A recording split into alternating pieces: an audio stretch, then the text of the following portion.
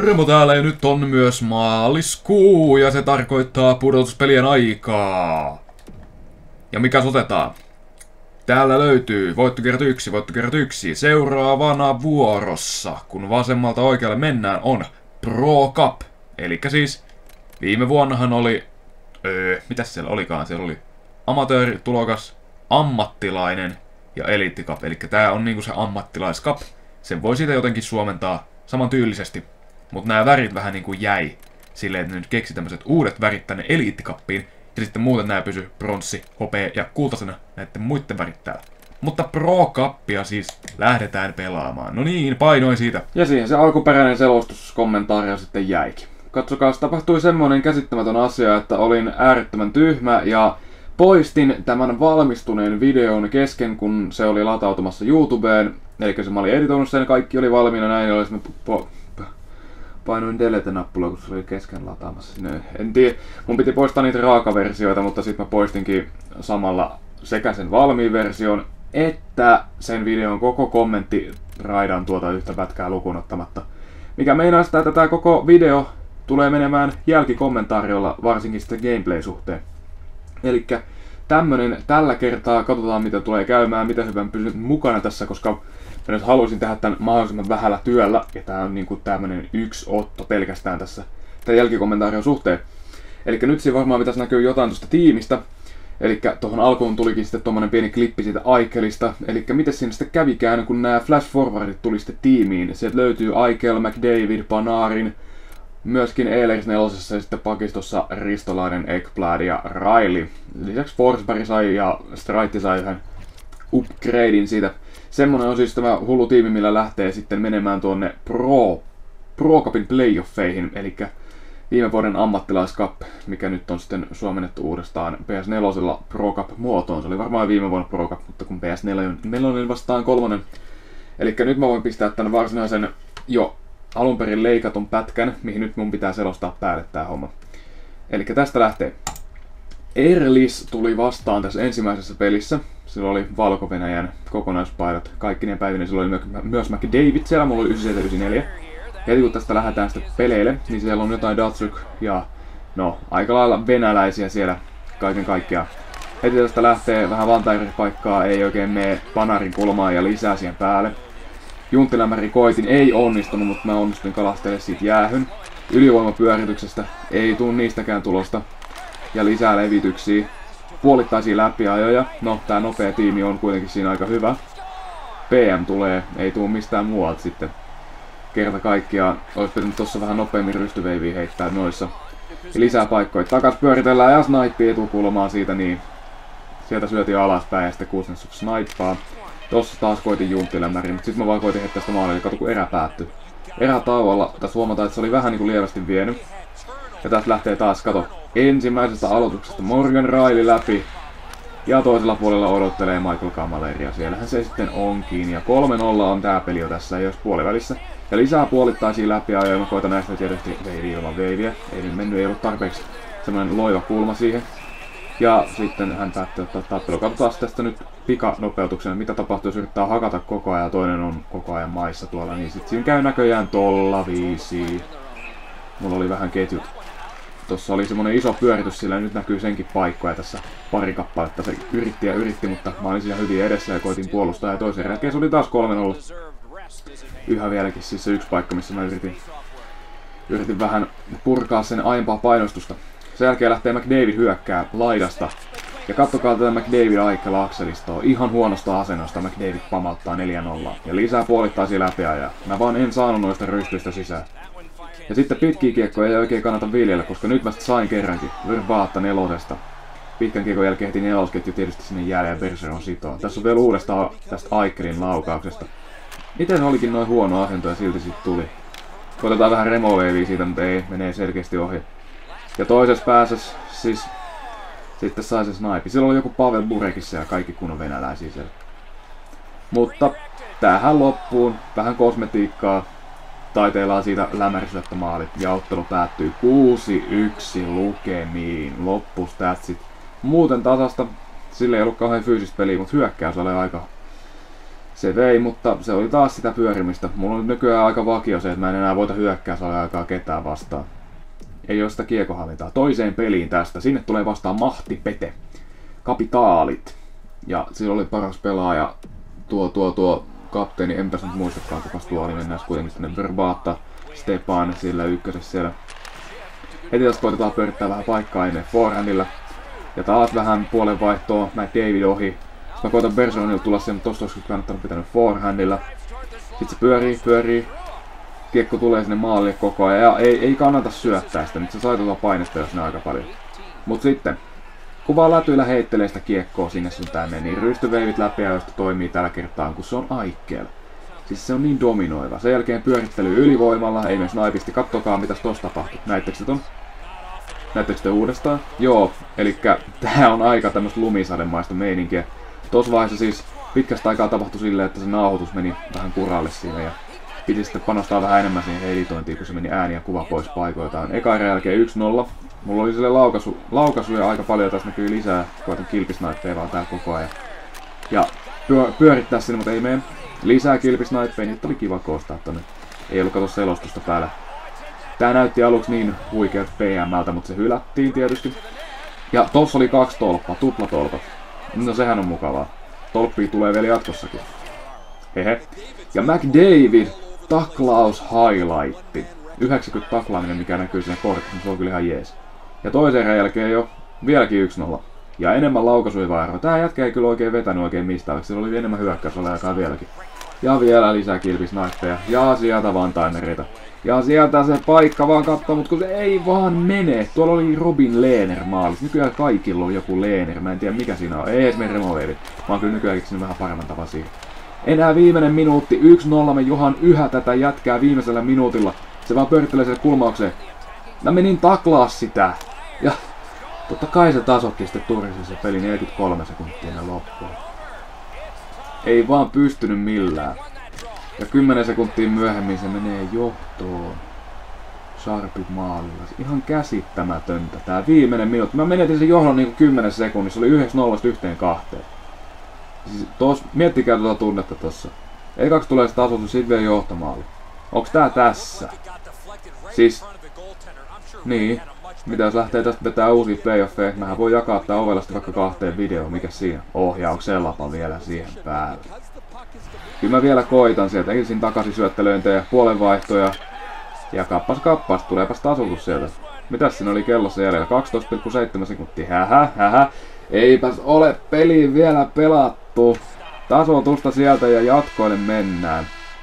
Tässä alkuperäisessä kommentaarissa mä vähän ennustelin, että kauan kestää sitä peliä ja mä sanoin, että 47 sekuntia. Tuommoisista statsissa no laukaukset 26-11, vaikka hyökkäysulla aika se vähän vei kuitenkin. Aika huono syöttöprosentti. No mitä sille ennustukselle käy? Kun tästä tulee Aikel. Lämäri peli ja voitto sieltä. Siinä ei mennyt kuin 24 sekuntia. Olisiko ollut näin? Eikö se ollut 27? Joo, 27 sekuntia. Kyllä, se oli aika nopeata toimintaa. Aikel sitten ykköstähtäinen McDavidin kanssa. Ne on kyllä pikkasen dominoivia kerta kaikkiaan. Se on turistikin sen tasoitusmaali siihen, niin se oli siellä kolmantena tähtenä vielä sen päälle. Ja kolmanteen peliin tällä hetkellä kahdesta pelissä maali 93. Sitten tulee vastaan Naiko 9. Hokitero, joukkueen nimi Rangersin paidat. Rangers, Rick Nash oli siellä paras pelaaja. Heti peli, eka erä puoliväli jo, eka klippi tästä. Näin. Mulla on kiekko maalin takana. Ja mä pyörätän sen sinne vaan Timerin rystyy tasutaseen. Evgeni Kutsnetsov mulle 1-0 johdon. 5 minuuttia eka jäljellä. Se pyörittää. Ja pahasti mä jätän sen paikan kyllä ihan vapaaksi sille. Tää vastustaja. Tää Naiko 9. Tossakin tolppaa. Ja lisää siitä niin... Tää oli selkeästi paras näistä, mitä tässä videossa tuli vastaan näistä vastuksista. Se vei eka jälkeen hyökkäysoleen 5-1. Mut sitten Aikkeelle toiselta puolelta ja Kammaleri jatkaa mulle johdon taas. On se kumma. Mutta toiseen päähän niin tää jätkä näytti, että kyllä se osaa ammatilliset kilpisnaipit. Lisää paikkoja Vantamerit ei nyt oikein. Toiselle puolelle ei mene sinnekään, Dubnik, Dubnik hoitaa. Mä koitan heittäytyä ja äijä, äijä ajautuu ruuhkaan. Ja mä koitan sitten purkaa siitä näin. Seuraava klippi sieltä. Niin, ei ta taas tolppa. Ekblad näytti kyllä tuossa nopeutensa, mutta kun Toi oli aika epic fail, mulla oli R1 pohjastossa. Mä koitan yhä jatkaa, jatkaa, jatkaa. Suojaa kiekkoa, pelasin, ei. Se purkaa. Eka erä, erä päättyi siihen, niin se oli 2-2 kaiken kaikkiaan, se oli kuin toinen erä, mutta 2-2 niin kuin kolmanteen erää. Lisää koitan, koita hakea sitä one timeria. Pakillekin sieltä, ei mene. Siitä, mullekin tolppaa vielä lisää siitä. Ja tästä jätkä yritti vetää längeistä, mutta eipäs mennytkään. Olisi voinut varmaan mennä. 11 minuuttia kolmatta erää jäljellä. Ja sieltä tulee jälleen Evgeni Kutsnetsov. Pama ottaa mulle 3-2 johdon. Ja lisää läpiajoja. Siis näistä vaan pitäisi tehdä. Mulla on se johto tästä, ei voisi kannattaa menettää sieltä. Ja lisää puolittaisia läpiajoja, mutta sieltä mä sentään teen. Toi vähän kummakikka. Pidin forehandilla ja menikin sitten sisään. Enää 6 minuuttia jäljellä. Kammaleri täyslämäri ohi. Ja sieltäkin vielä, mutta ei mennyt. Se koittaa noita sitoneista aloituksista, mutta ei se vaan nyt silläkään. Siellä, ihan vapaana, Dubnik ottaa lisää paikkoja. Se pitää sen kiekko homassa hallussaan. Toisen kiekohallinta oli kyllä aika hyvää tuossa ottelun lopussa. Vika minuutti, 56 sekuntia. Sieltä mä tuun ja se ottaa itselleensä rangaistuksen siitä 53 sekuntia jäljellä. Ja mulla on YVtä ja mä koitan tulla sieltä lisää puolittaisi läpi Ja lopussa Jack Eichel panam taas. 9 sekuntia loppuu, 5-2 voitto siitä. Ja finaali odottaa. Finaali odottaa. Edennyt tasoinen loppuottelu. Statsissa näkee, että joo, se vei hyökkäysolajan taas, mutta loppua kohden se peli tasottu mulle tuon hyökkäysolajan kanssa. Kattokaa vaikka. 5-1, sit se oli 8-3, ja sitten se lopussa enää 11-7. Evgeni Kulsnetsov, 2 plus 0 siitä niin. Ja taas aikeas tähdistys siellä. Finaalimatsiin tuli vastaan The Lodur. Sen jengi oli joku IPA 69, lyhenne IPA. Silloin oli Dylan Larkinin päivitetty, varmasti se oli Movember siellä, mikä sitten olikin siellä. Crawford näyttää, että se ei ole päästänyt vielä maaliikaan, en tiedä oliko se joku juttu vai jotain, mutta Silloin Seikin ykkössentterinä. Ja tästä lähdetään jälleen. Pyörittäistä paikkaa. Tää oli tämmönen tää ottelu alku vähän, että se oli, se oli aika hallitseva osapuoli tässä. Koitan lähteä avaukseen sieltä, mut se jyrää mut kuus, jyrää mun Kutsnetsovin sieltä. Koita hakea kiekoristoa ja sitten pelaa maalille, mutta mut jyrättiin koko ajan. Tää oli tämän pelin kuva. En mä tuossa alussa sano oikein mitään aikaiseksi. Ja sielläkin on sitä tilaa vaikka mille, millä mitalla. Möri siivoo kuitenkin sen Dubnikin kanssa. Kilpisnaippi ohi, kiekon menetys siitä. Koitan ottaa kiekon takas. Ja Bergeron tulee. Ja sitten Panarin sekaketju jäällä ja sieltä iskee yhteen nollaan Artemi Panarin nopeilla käännöillä. Kolme minuuttia erää jäljellä. Ja kauanko mun hupia kestikään, eipäs kauaakaan. Vaan se tuli tasoihin sieltä aika nopealla tahdilla. Ekan jälkeen 1-1 taas tosi tasasta. Se kyllä vei laukauksissa sekä hyökkäysolajassakin 1-2 meiningeillä. Taas siellä yllättävän heikko syöttöprosentti. Mä koitan tulla taas sieltä. Pudotus syötö ja toi näytti yllättävän vaaralliselta. Siellä oli se Crawford maalissa. Se koukki itsellensä boksia. 12.03 jäljellä. Tonne kiekko. Sitten Ristolainen tulee, tulee, se heittäytyy, se ei siinä jää mitään mahiksi. Sieltä tulee vaan timeri. Tai no semmonen puolittainen vaan timeri ehti olla sillä hallussa. Eipäs mennytkään tosta, mutta mä sain sitten jäähyn siitä päälle. Peli puolivälissä. Se koittaa tunkea sitä kiekkoa maaliin. Kattokaa mitä tossa tapahtuu. Okei, mutta tää seuraava tilanne on vielä parempi. Op, op, nyt, nyt on kyllä pesä, pe, jotain pesäpalloa tai jotain mailapelejä pelattu muutenkin. Onpas käsisilmäkoordinaatiota kerran. Se siihen jäi ja se tuli tasoihin sieltä.